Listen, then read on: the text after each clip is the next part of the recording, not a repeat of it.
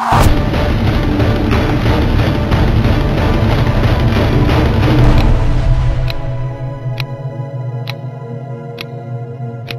müzakirə saatında xoş gördük hər birinizi. Sizinlə mən Elçin Rəhmizadə və verilişimizin bugünkü qonağı Atlas Araşdırmalar Mərkəzinin rəhbəri Elxan Şahinoğludur. Elxan bəy, xoş gəlmisiniz. Salam Elçin bəy. Elxan bəy, e, Nikolay Patruşevun Azərbaycana e, səfərini necə qiymətləndirirsiniz və ümumiyyətlə e, belə deyim, pərdə arxasını götürsək, nə üçün gəlmişdi Patruşev Azərbaycana? Patruşevun Azərbaycana səfərindən öncə ümumiyyətlə gəlin avqust ayında bölgədəki hadisələrə bir qədər diqqət yetirək. Avqustun 5-də Ermənistan baş naziri deməli Paşinyan, Nikol Paşinyan gəldi Xankəndinə və mitinqdə məlum açıqlamasını verdi ki, dırnaqarası Qarabağ Ermənistandır. Bu bizdə ciddi narahatlıq yaratdı ki, yəni bu siyasətmi dəyişir? Çünki məsələn bu şüarı mən Miyatsum şüarı ermənicə birləşmək deməkdir. Tələbə olduğum vaxtlarda 80-cı illərin sonunda eşitmişdim ki, bu şüarla küçələrə axışdılar Dağlıq Qarabağda. Sonra vaz keçdilər. Niyə vaz keçdilər? Çünki anladılar ki, bu şüarla dırnaqarası mübarizəni davam etdirsə, dəstək ala bilməyəcəklər beynəlxalq anlamda. Həm də baxdılar ki, dünyada da başqa separatçı ocaqlar var. İspaniyada var, Kanadada var, Kvebek bölgəsi. Elə ət, yaxın ətrafda Gürcüstanda, Osetiya, Abxaziya, Moldovada, Dnestr dedilər separatçılıq şüarı ilə davam edən mübarizəyə və dırnaqarası müstəqillik tələb etdi. Amma üstünə 30 il keçir, görür ki, Paşinyan bu şüarı. Bu bizdə də müəyyən suallar yaratdı. Mən düşünürəm ki, Moskvada da müəyyən suallar yaratdı.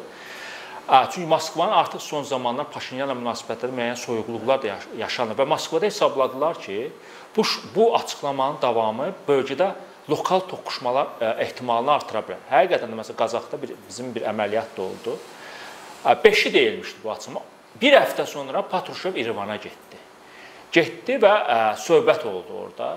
Mən düşünürəm ki, əsas iki iki mövzu ilə getdi. Birinci mövzu onlara anlatsın ki, əgər bu şüarla siz davam etsəz, bölgədə müharibə riski arta bilər. Çünki bu o da nə deməkdir Qarabağ Ermənistan? Bu deməkdir ki, Ermənistan Azərbaycan torpaqlarını anneks edir.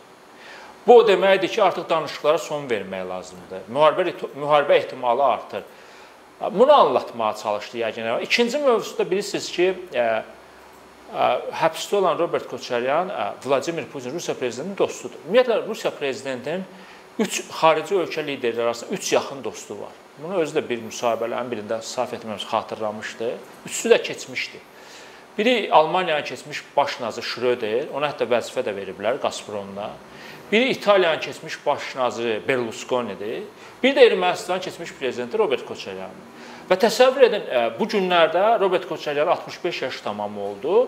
E, Putin ona e, həbsxanaya təbrik məktubu göndərdi. Mən məsəl üçün siyasi bu münasibətlər sistemində ilk dəfə də belə hallara rastlaşıram ki, təcrübəmdən də çıxış edərək ki, hansısa bir ölkənin lideri həbsdə olan bir siyasətçi iki dəfə ard-arda təbrik məktubu göndərir. Bu Paşinyana mesaj ki, mənim dostumu həbsdə saxlama. Düşünürəm ki, Patruşevin ikinci mövzusu İrəvanda bu olub. Azərbaycana gəlsin, suala konkret gəldikdə. Azərbaycanda düşünürəm ki, eyni mövzu olub, yəni bu Qarabağla bağlı. Çünki görür ki, Azərbaycanda da ritorika dəyişir və açıq deməyə lazımdır, cəmiyyətdə müharibə istəyənlərin sayı da artır. Bunu hakimiyyət də artıq görür və hesablaşmaq məcburiyyətində qalır. Nəsə etməlidir. Və sizə deyim ki, Patruşev e, Putinin ən yaxın adamlarından biridir. Mesaj aparan adamlarından biridir müxtəlif ölkələr. Bu bir. İkincisi uzun illər kəşfiyyata rəhbərlik edib Rusiya kəşfiyyatına və Azərbaycan və Ermənistandan kifayət qədər kəşfiyyat məlumatlarına malikdir. Yəni situasiyanı bizdən yaxşı bilirlər və görürlər ki, nələr ola bilər. Və onlar bilsin ki, Azərbaycan tərəfini xəbərdar ediblər ki, müharibəyə başlamayın. Yaxşı, başlamayın müharibə, amma belə sakitdə bizim maraqlara cavab vermək, işğal uzanır. Yəni düşünürəm əsas mövzu. Düzdür, rəsmi xəbərlərdə deyildi ki, güya hansısa kiber hücum, e, kiber təhlükəsi məsələsi, digər məsələ. Mən sadəcə sual etdim ki, özümə Rusiya Azərbaycan hansı sahədə məsəl üçün kiber təhlükəsizliyə qədər birgə əməkdaşlıq edə bilər. Bu məsələ icebergin görünən tərəfidir. Görünməyən tərəfi isə yəqin ki, bizim rəsmiləri xəbərdar ediblər ki, müharibəyə başlayım. Əsas mesaj bu olub. Başqa bir yenilik də ondan ibarətdir ki, artıq Biz ki, Azərbaycan Təhlükəsizlik Şurasının Ramil Yusubov başçılığı. Əvvəl bu, bu vəzifəni həm də Prezident Administrasiyasının rəhbəri Ramiz Mehdiyev daşıyıb. İndi ilk dəfə oldu ki, Patruşev məhz Ram, ə, e, Ramiz Mehdiyevlə deyil, Ramil Yusubovla məsələləri müzakirə olundu. Bu da bir yenilikdir. İkinci bir yenilik mənim diqqətimi nə çəkdi? E, Patruşev 2017-ci ildə Bakıya gələndə Bakını tərk etdindən dərhal sonra Azərbaycana Türkiyə Dəniz Qüvvələri Başqanı gəlmişdi. Və Azərbaycan ə, ə, Türkiyə hərbi əməkdaşlıq müzakirəsi möv mövzusu müzakirə olundu. Bu dəfə də Patruşev Bakıda olanda Azərbaycanla Türkiyə birgə hərbi təyyarələrin təlimlərini həyata keçirir. Yəni bu da sanki bir bilmirəm təsadüfdürmü ya və real gerçəklikdir. Amma burada bir cümləni də əlavə edim. Əgər Rusiya rəsmilərinin və Patruşev kimi simaların Azərbaycana səfəri hansısa xəbərdarlıq mahiyyəti daşıyırsa, Türkiyədən gələn heyətdən əsas hədəfi, əsas məqsədi Azərbaycanla hərbi əməkdaşlığı artırmaq, Azərbaycanın təhlükəsinə töhfə vermək. Rusiya ilə Türkiyənin fərqi də əsasən bundadır bizim üçün. Patuşevun e, səfəri zamanı Şəhidlər Xiyabanını ziyarət etməsi Ermənistan tərəfdə çox hiddətlə qarşılandı. Çoxları düşünür ki, e, Bu səfər öncəsi e, qeyd edim ki, Mariya Zaxarova da Ermənistan tərəfinin bəyanatlarında diqqətli olmağa səslənmişdi. Bəli. E, gərginliyə, Ermənistan-Rusiya gərginliyinə e, belə deyim, Rusiyanın bir barmaq silkələməsi kimi qiymətləndirilir. Sualınız iki hissədən ibarətdir. Birinci hissəyə cavab versək, Elçin bəy. Yəni Patruşevin şəhərdə xiyabanı ziyarəti e, təqdir olunası haldı. Çünki orada kimlər uyuyur? 20 e, yanvar şəhidləri, bir də Qarabağ şəhidləri. Hər ikisində də bu və ya digər dərəcədə Sovet, keçmiş Sovetlər və Rusiyanın əli olub, dırnaqarası əli olub. Sovet Sovet tankları Bakıya daxil olub və digər bölgələrimizə daxil olub vətəndaşlarımızı qətlə yetiriblər. Daha sonrakı illərdə isə Qarabağ şəhidlərimiz bastırılıb şəhidlər xiyabanı. Bunda da Rusiyanın əli olub, Rusiyanın Ermənistanı dəstəyi və Xocalı soyqırımında birbaşa Rusiyanın 366-cı alanın rolu olub təqdir olunması halda Rusiya prezidenti Vladimir Putin də Bakıya səfəri zamanı o da şəhidlər xiyabanını ziyarət etdi. Bu müsbət haldır, təqdir olunur. Sualın ikinci hissəsinə gəldi. Üzr istəyirəm, ikinci hissəsi e, Ermənistana sanki barmaq silkələmək. Hə, Mariya Zaxarova ilə bağlı. Mən Mariya Zaxarovaya verilən sualı da cavabı da diqqətlə izlədim. Hətta bir neçə dəfə izlədim. Sualı verən Azərbaycanlı jurnalist, Moskvadakı Azərbaycanlı konkret ona sual verdi. Dedi ki, Paşinyan Xankəndidə deyib ki, Qarabağ Ermənistan. Bundan qabaqsa Paşinyan başqa bir təxribata da əl atmışdı. Xatırlayın, Tehranda olarkən erməni diaspora ilə görüşəndə bir selfi çəkdi. Selfinin arxasında şüar görünürdü ki, orada da Qarabağ Ermənistan torpağıdır. Bu da bir təxribat idi. Və bir məsələni də deyim, başqa bir mövzuya keçmədən, Paşinyan sentyabr ayında Amerikaya səfəri planlaşdırıb. Bilirsiniz ki, BMT Baş Assambleyasının hər il sentyabrın ortalarında belə də toplantısı olur və o toplantıya dövlət başçıları, baş nazirlər dəvət olunur. Bəziləri gedir, bəziləri getmir. Paşinyan keçən də getdi və çox çalışdı ki, Amerika prezidenti ilə görüşsün. Hətta erməni-parast konqresmenlər Trampa məktub da yazdılar ki, sən Allah görüş Paşinyan, görüş alınmadı. Bu dəfə də bir hədəfi var görüşmək. İnanmıram ki, alınam. İkinci hədəfi də var ki, Los Ancelesə gedib orada erməni diaspora ilə görüşmək. Yəqin pul dilənəcək Amma Koçaryan və Sarkisyandan fərqli olaraq Ermənistan keçmiş rəhbərlərinə pulu Taş Qarabağ üçün Ermənistan üçün dilənəcək. Və əgər orada da desə ki, Qarabağ Ermənistanı deməli artıq bundan siyasəti, Paşinyan siyasəti budur. Biz də öz siyasətimizi korrekt etməliyik və mənə elə gəlir ki, əslində danışıqlarına biz çıxmalıyıq. Bu bir. Qayıdırıq Mariya Zaxarova. Mariya Zaxarova konkret verilən suala belə bir cavab verdi. Mən baxdım ilk cümlələri söz söz tapmağa çalışır. Mariya Zaxarova çox hazır cavab, Rusiyalı diplomatdır. Ukrayna haqqında sual verən dərhal Ukraynanı tənqid edən fikirlər səsləndirəcək. Amerika barədə sual verən Amerikanı yıxıb sürəcək. Böyük Britaniya o cümlədir. Amma Ermənistanla bağlı konkret sual verilir. Görür söz axtarır. Bilsin ya beynində fikirləşir, necə bir cavab verim ki, nə şiş yansın, nə kebab, Ermənistanı da narahat etməyim. Düzdür, orada bəzi belə işartılar var idi güya ki, Paşinyan açıqlamasından narahatlıq var. Bəli. Amma sonra yenə də işğalçı ilə işğala məruz qalan dövlət arasında bərabərlik işarəsi qoymağa çalışan cümlələr işlədir. Hətta bizim televiziyalar o yeri vermədilər. Başqa bir erməni jurnalistin sualına da cavab verir o. Erməni jurnalist ona sual verir, ə, Paşinyanla bağlı bir sual verir ki, bəs Paşinyan Polşaya getmədi. Bilirsiniz ki, dünya 2-ci Dünya müharibəsinin başlamasının 70 illiyi Polşada təntənə ilə qeyd edildi. Çünki müharibə məhz Almaniyanın Polşaya müdaxiləsi ilə başlamışdı 1 sentyabrda. Paşinyan getmədi.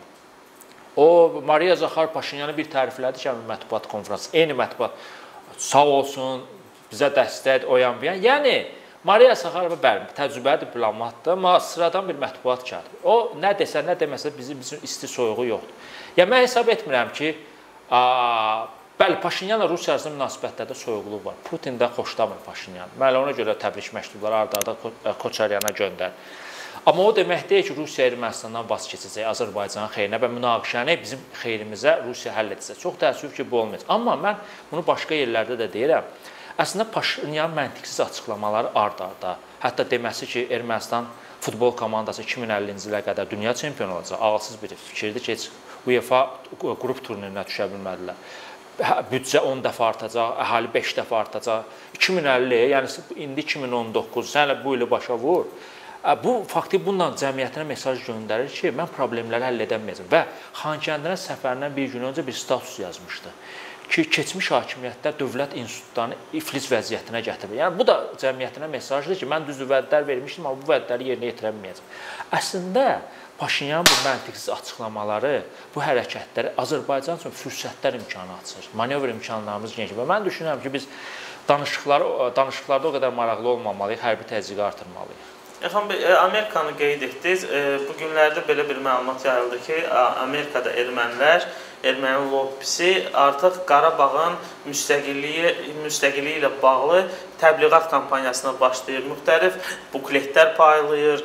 E, bu cəmiyyətdə yayılsa da, amma e, hakimiyyət tərəfindən dövlət qurumları, buna aidiyyəti olan dövlət qurumlarından heç bir reaksiya görmədik.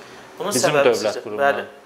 Bilirsiniz, mən xaric, Azərbaycan Xarici İşlər Nazirinin bəyanatlarına baxıram. Yəni təkrarlanan bəyanatlar heç bir effekti də yoxdur. Yəni o deyir, mən deyirəm, o deyir, mən deyirəm. Onun üstünlüyü odur ki, o mənim torpaqlarımı işğal edib. Mənim açıqlamalarım elə bir üstünlüyü yoxdur. Bizi ondan açıqlamalarına Müdafiə Nazirliyimiz reaksiya verməli. Bunu açıq-aşkar demək lazımdır. Yəni Xarici İşlər Naziri elə bir rolu qalmayıb bizim bu məsələdə. Və mən e, onu da qeyd edirəm ki, əslində bu danışıqlar da real nəticə vermir iki tərəf arasında. Məsələn, bir faktı deyim ki, Azərbaycan və Ermənistan xarici işlərlə son görüşüm hansısa şifahi razılaşmalar olmuşdu. Deyəsən sizinlə də müzakirə etmişdik. Humanitar aksiyalar, evet. jurnalistlər gedib gəlsin. İndi heç onu xatırlayan yoxdur. Amma, amma neçə ay öncə biz elə bunu müzakirə etdik. Mən də dedim, elə boş şeydir. Yəni bu alınmayacaq. İlk atəşkəsin pozulmasında bütün bunlar unudulacaq. Necə ki, indi unudulub və heç bir jurnalist bu haqqda danışmır. Ona görə danışıqların effekti yoxdur. Başqa bir fakt deyim. Məsəl üçün erməni separatçıların lideri Avstraliyaya getdi. Getdi orada Avstraliyada deputatlarla, komissiya sədrinə. Mən olsa məsələ qaldırdım ki, xarici işlər naziri, yəni nəsə bir fəaliyyət göstərsin. Qarabağ Azərbaycan icması fəaliyyət göstərsin. Təklif elədim. İcma rəhbərinə də bunu yazılı şəkildə göndərdim ki, Və separatçılar gedirlər özlərini tanıtdırmağa çalışırlar. Görürsüz indi Amerikada siz dediyiniz hadisələr baş verir. Avstraliyaya gedirlər. Qarabağın Azərbaycanlı icmasının liderinə səfərlər təşkil edib xarici ölkələrdə bu konfrans və seminarlar keçsin və oradakı səfirliklərimiz təşkilati məsələləri həll etsinlər. Bax, Qarabağ separatçıların lideri qısa zaman kəsində 3 həmsədr ölkədə oldu. Vaşinqtonda, Parisdə və Moskvada. Biz də öz icmamızın rəhbərini bu səfərləri təşkil etməliyik. Getsinlər. Çünki beynəlxalq aləmdə belə bir təsəvvür var ki, Qarabağ elə ermənilərdən ibarətdir. Ona görə mən düşünürəm bizim Xarici İşlər Nazirliyi biraz fəaliyyət istiqamətini dəyişməlidir. Qarabağ Azərbaycan icmasının lideri, hə, gənc bir şəxsdir, diplomatdır. Ya yaxşıdır, indi səfirlərlə görüşür, fikir mübadiləsi, amma bu azdır. İkinci mərhələdə artıq yenə təkrar edirəm, xarici ölkələrə gedib konfrans və seminarlarla Qarabağ Azərbaycan icmasını beynəlxalq aləmə tanıtdırmalıdır. Yaxın bəy, tez-tez cəmiyyətdə belə bir ifadə işlənilir. E, Azərbaycan Rusiya və Qərbin arasında qalıb. Yəni Bəli. seçim etməlidir istədiyi istənilən halda hər hansı bir seçim etdiyi təqdirdə qarşı tərəfin təzyiqi ilə məruz üz-üzə qalan Azərbaycan hansı seçim etməlidir, hansı yol əylatmalıdır? Təşəkkür edirəm Etibar. Bu aktual mövzudur. Mən də illərdir bu mövzu ətrafında müəyyən fikirlərim olur, yazılarım olur, açıqlamalarım olur. Bilirsiniz, Cənubi Qafqazın üç ölkəsi var. Ermənistan öz seçimini edib. Ermənistan Rusiyanın forpostudur. Bunu Rusiya da deyir, Ermənistan da deyir. Hərbi bazalar sərhəddi qoruyur. Seçimini edib də və bu yolla özünün təhlükəsini təmin etdiyini düşünür ki, Azərbaycan Ermənistana hücum etməyəcək. Gürcüstan da NATO üzvlüyü hə, qarşısına hədəf qoyub. Və bu yaxınlarda xəbərlər də gəlir ki, artıq Amerika ilə danışıqlar gedir. Amerika orada hərbi bazalar formalaşdırır. Bu deməkdir ki, yaxın illərdə Amerikanın hərbi bazaları Gürcüstanda olacaq və Gürcüstan NATO üzvlüyü də sürətlənə bilər. Cənubi Qafqazın 3 ölkəsindən ikisini artıq seçimini etdi. Qaldıq biz. E, belə vəziyyətdə bizim balanslaşdırılmış xarici siyasət bunu hakimiyyət də elan edib aparmaq çox çətin olacaq. İki stulda oturmaq çox çətindir. Seçim etməliyik. Mən Rusiyanın xeyrinə biz seçim edə bilmərik. Rusiyanın 200 illik siyasəti bizə dərs olub. Rusiya ilə bəli normal qonşuluq, yaxşı münasibətlərimiz olmalıdır turistlər gəlsin, biz gedək, ticarət mübadiləsi art. Amma Rusiya bizim strateji müttəfiqimiz deyil. Tərəfdaşımız ola bilər. Bəli, NATO NATO üzünə hədəf qoymaq da bizim üçün də realdır. Rusiyanın böyük təzyiqlər üzrə. Amma biz nə edə bilərik? Bunu mən dəfələrlə demişəm. Türkiyə ilə hərbi strateji müttəfiqliyi üst səviyyəyə qaldıra bilərik. Ən azı Türkiyə Azərbaycan iki hərbi bazasının yaradılmasını biz təmin etməliyik. Biri Naxçıvanda, bir də Abşeron bölgəsində. Buna heç Rusiya da sizə deyim ki, o qədər etiraz etməz. Çünki Rusiya ilə Türkiyə arasında sıx tərəfdaşlıq münasibətləri var. İki lider faktiki dostdular. Bəli. Rusiya bizim üçün bu da şansdır. Türk hərbi bazaları Azərbaycanda niyə lazımdır? Aprel savaşını xatır edin. 4 gündən sonra Rusiya bizə təzyiq etdi, savaşı dayandırmağa məcburiyyətində qaldı. Amma biz bilsək arxamızda Türkiyədir. Türk hərbi bazaları Azərbaycandadır. Rusiya Türkiyə ilə burada toqquşmaq istəməz. Və Qarabağ münaqişəsinin əlində bu bizim üçün güclü alət olar. Bax fikir verin. Türkiyənin Naxçıvanda hərbi bazası mövzusu gündəmə gələn kimi Ermənistanda bir panika yarandı. Onların ekspertləri panika içində başladılar yazmağa. Bu necə olacaq, nə tər? Bunun özü belə bizim xeyrimiz. Amma çox təəssüf ki, hələ ki bizim ə, ə, belə deyək, rəsmilər bu istiqamətdə gərəkli addımlar atmalı. Amma düşünürəm ki, bu bu məsələni gecikdirmək olmaz. Türkiyə-Rusiya münasibətlərinə toxundunuz.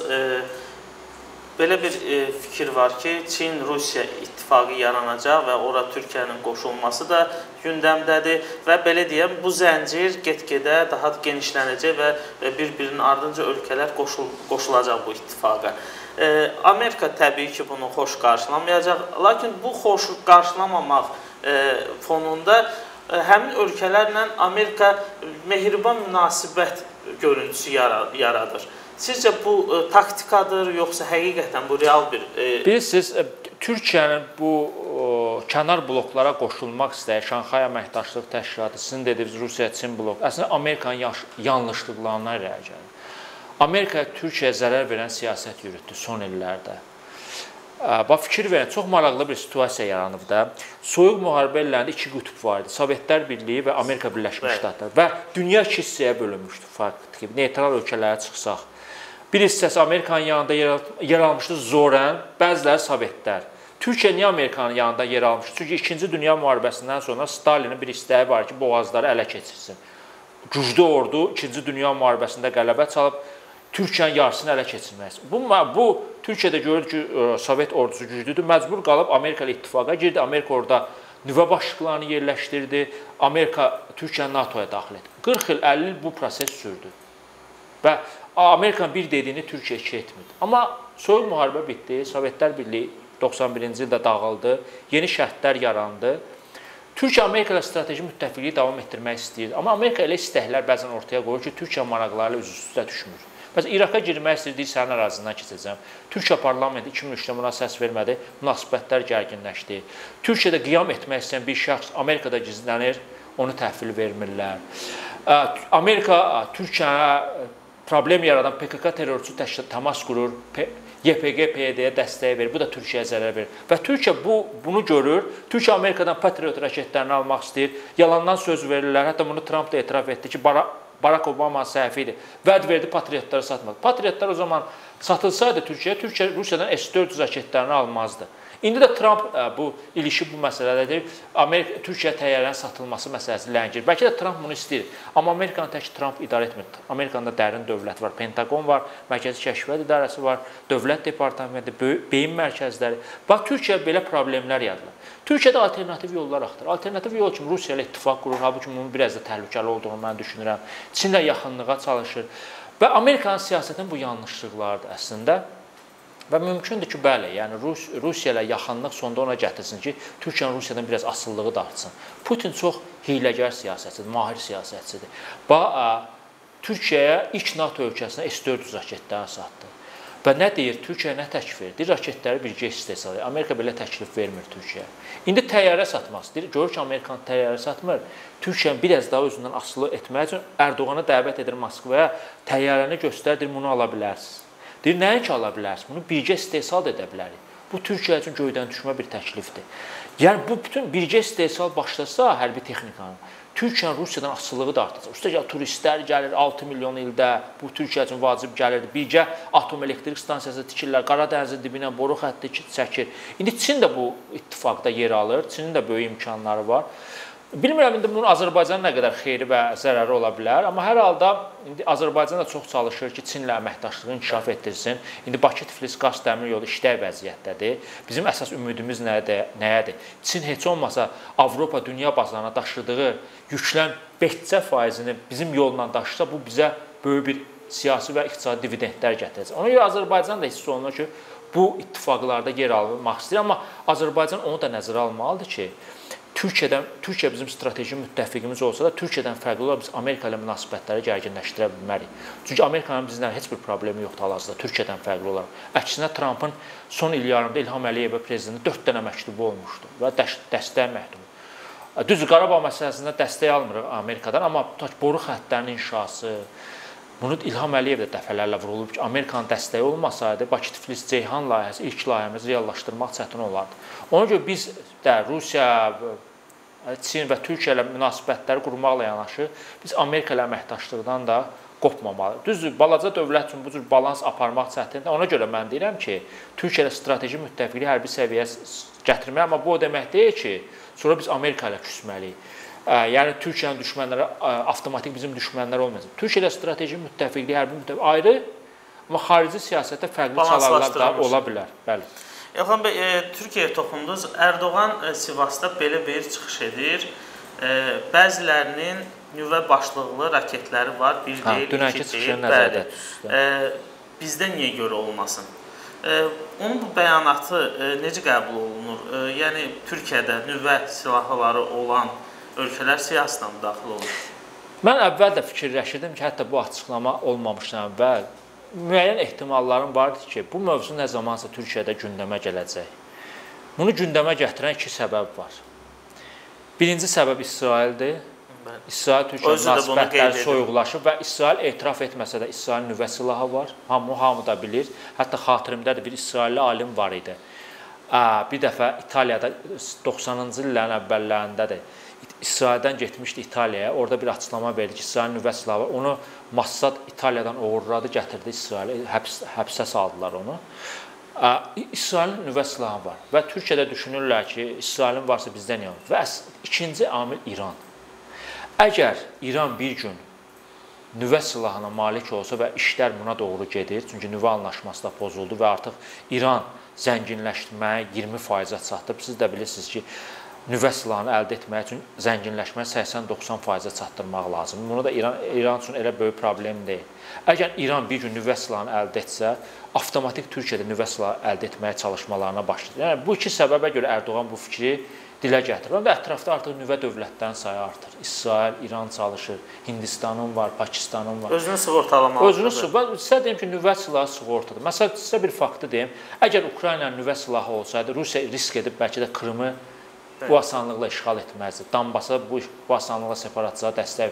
Ukraynanın yanlışlığı məncə onda oldu ki, 94-cü ildə Budapeştdə anlaşma imzaladı və nə ilə ə, belə əvəzlədi ki, Rusiya mənim ərazi bütövlüyümü tanıyır, mən onun əvəzində nüvə başlıqlarını verirəm Rusiya. Bunu Amerikada dəstəklədi, Fransa hətta qarantör oldu. Amma gördük ki, Rusiya Rusiya anlaşmaya riayət etmədi. E, və son sualım, e, həmin günlərdə görüşməyimiz e, baş tutmadı. MiG-29 təyyarəsi ilə bağlı fikirlərinizi öyrənmək istəyərdim və həmin o qəza ilə bağlı belə ən çox danışılan versiyalardan biri Rusiyanın belə deyim, dırnaqarası müdaxiləsi səbəbindən həmin təyyarə vurulub və hətta orada həmin günlərdə hər hansı bir təlimlərin keçirildiyi də misal gətirilirdi.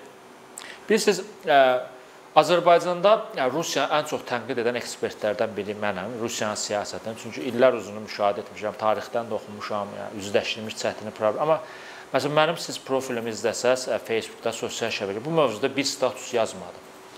Çünki şayələrə əsasən bir dövləti ittiham etmək istəmədim. Yəni Rusiyanın başqa istiqamətdə əlimdə faktlarla tənqid edirəm. Amma desəm ki, ə, Rusiya Xəzərdə təlimlər keçirib və qəsdən bizim təyyarəni vurub, bəzi elə yazılar oldu, şayələr oldu. Yəni əlimdə fakt yoxdursa, inandırıcılıq qabiliyyəti zəifdirsə o məntiqin, mən o o məsələdə fikir bildirmirəm. Və həm də sual etdim özünə ki, Rusiyanın bizim təyyarəni vurması nəyinə lazımdır? Yəni mesaj göndərmək istəyirsə Patrushev gəlir, mesajını rahat çatdırır. Başqa yollarla bizə mesaj. Niyə bizim təyyarəni vursun ki? Yəni bunu anlamaqda vurubmu ki, ona görə işarə etsin ki, yəni sənin bütün ə, texnikan mənim əlimdədir, ə, ta ki istənilən vaxt düyməni bassanla texnikanı dayandıra bilərəm. Onu onu təyyarəni vurmadan da edə bilər. Çünki xeyli Rusiyadan silah və sursat almaq istəyir. Ona görə mən yəni mənim ə, əlimdə bu fakt olmadığından, məntiq zəif olduğundan deyə bilmirəm ki, bu işdə Rusiyanın əli olub. Amma nə hansı qənaətə gəldim bu hadisədən sonra ki, Rusiyadan silah almaq olmaz. Rusiya və yaxşı ki, bu il biz Rusiyadan silah almamışıq. 1 dollarlıq birləşsə 5 milyard dollar civarında Rusiyadan silah aldı. Və məndə olan məlumata görə bəzi silahlar hətta keyfiyyətsiz çıxdı. Biz başqa dövlətlərdən almalıyıq. Müttəfiqimiz Türkiyədən almalıyıq. Pakistan bizə müasir silahlar təklif edir. İsraildən onsuz da alırıq. Cənubi Afrika Respublikasında təklif edir. Elə yəni kifayət qədər almışıq Rusiyadan silah və görürsüz ki, başımıza nələr gəlir. Təyyarələr düşür, tankları dayanır bəzən, top atır, mərmisi dağılır. Hə. Ona görə texnologiyası yüksək olan dövlətlərdən biz silah və sursat almalıyıq. Avropadan ala bilmirik. Düz üçüncü dövlətlər vasitəsilə bəlkə də alırıq rəsmi belə deyə də qadağa var. Çünki Qarabağ münaqişəsinə görə Avropa dövlətləri, Avropa İttifaqı dövlətləri qeyri-rəsmi embargosu var. Nə Ermənistan, nə Azərbaycan silahlı. Amma məndə olan məlumata görə artıq Fransa ilə danışıqlar intensivləşib və mümkündür ki, Fransadan biz yaxınlarda müasir hərbi texnika alaq. Onlardan alsaq digər Avropa dövlətləri də bizə satacaq və Rusiya texnikasına bizim ehtiyacımız olmayacaq. Elxan bəy, təşəkkür edirəm. Mən təşəkkür edirəm. Sağ olun. Sağ olun. Bugünlük bu qədər əziz tamaşaçılar. Xatırladım ki, verilişimizin bugünkü qonağı Atlas Araşdırmalar Mərkəzinin rəhbəri Elxan Şahinoğlu idi. Sağ olun, salamat qalın.